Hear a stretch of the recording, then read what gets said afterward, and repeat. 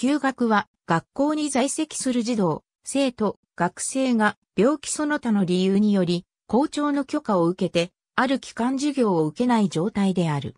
なお、日本の場合は学校教育法に基づかない教育施設でも休学の実例はある。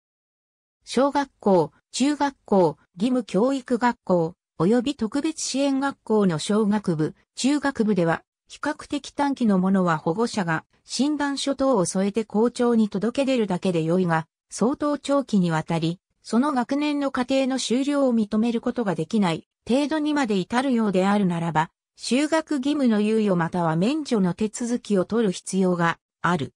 高等学校、中等教育学校、特別支援学校の高等部、及び高等専門学校において休学する場合は、学校教育法施行規則第94条により、校長の許可を受ける必要がある。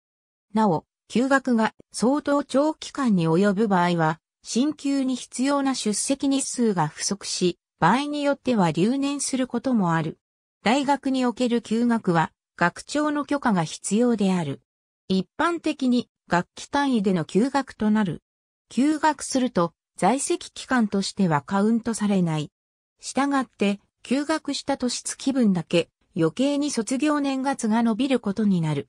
また、休学期間は最長4年までとされており、それを超過すると除籍となる。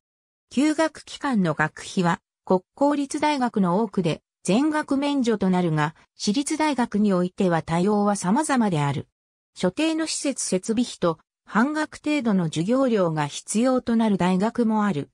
専修学校における休学については、施行規則第181条により、校長が定めることとなっている。ありがとうございます。